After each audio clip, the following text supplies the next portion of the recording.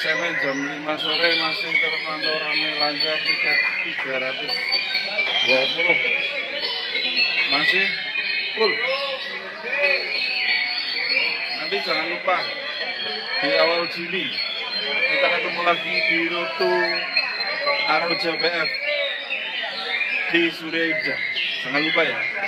Terima kasih sudah hadir di Banjarnegara terima kasih sudah main. Asik